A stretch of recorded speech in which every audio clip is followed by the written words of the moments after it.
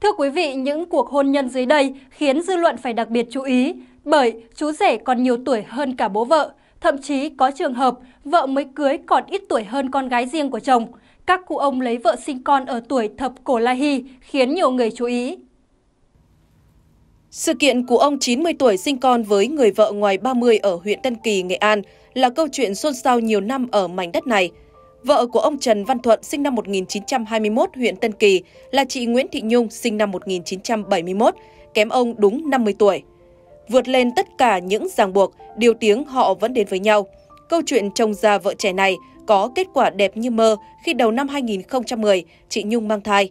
Tròn 9 tháng 10 ngày, chị sinh một bé trai nặng hơn 3 kg, bụ bẫm đáng yêu. Cũng như ông Thuận, ông Nguyễn Hữu Trọng, sinh năm 1928 Ba Vì, Hà Nội, cũng là người lấy vợ và có con ở tuổi xưa nay hiếm.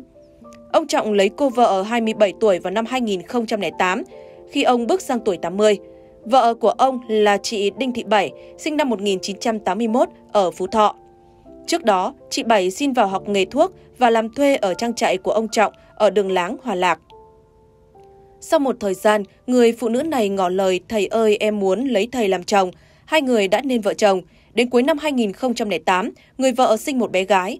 Năm 2011, người vợ lại mang bầu và lần này một bé trai kháu khỉnh ra đời. Vua voi Amakong, sinh năm 1910, mất năm 2012, ở xã Krona, huyện Buôn Đôn, tỉnh Đắk Lắk, cũng là người đàn ông được cho là đào hoa nhất đất Tây Nguyên khi ba lần lấy vợ với một đàn con đông đúc.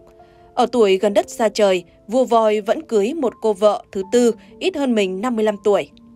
Khi bước sang tuổi 80 lên xe hoa với một thiếu nữ, đó là cô Hờ Khăm 25 tuổi. Một năm sau đám cưới, cô dâu Hờ Khăm đã sinh cho chú rể Amakong một bé gái kháo khỉnh tên Hờ Búp. Đại gia Lê Ân sinh năm 1938 gây xôn xao dư luận và làm tốn giấy mực báo chí, không chỉ bởi khối tài sản cả đời ông gây dựng, mà còn là thiên tình sử với người vợ trẻ kém ông hơn 50 tuổi. Đại gia này đã có bốn bà vợ trước khi gặp người vợ thứ năm là cô Mai Thị Mai.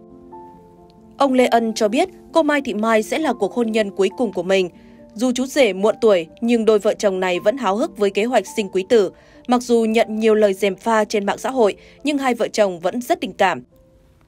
Cũng như Lê Ân, ông Nguyễn Văn Đợi ở xã Yên Thắng, Yên Mô, Ninh Bình lấy vợ ở cái tuổi khó ai tin. Suýt soát tuổi 70, ông Đợi còn lấy hai chị em ruột làm vợ. Ông Đợi lấy bà Nguyễn Thị Suốt vào năm 1997. Đây là lần lấy vợ thứ ba của ông. Đến năm 2001, một chuyện hy hữu xảy ra, ông Đợi lấy thêm vợ tư là bà Khuyên, lại chính là chị em gái của bà Suốt. Vì lấy nhau đã 5 năm chưa có con, nên hai ông bà đã quyết định đưa bà Khuyên về sống chung như vợ chồng với ông Đợi.